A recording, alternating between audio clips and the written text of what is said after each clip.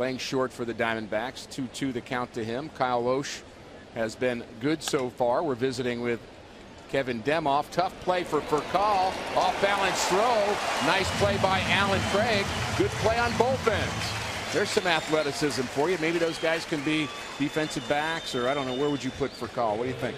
I think for Furcal, you probably put him as a corner. I think that's where he would be, right? Cover corner. I like it. Uh, showing that kind of range, he could do it. Knock some balls down. Craig, maybe a linebacker. I don't know. I think Craig is tight end linebacker. You know, you have a pretty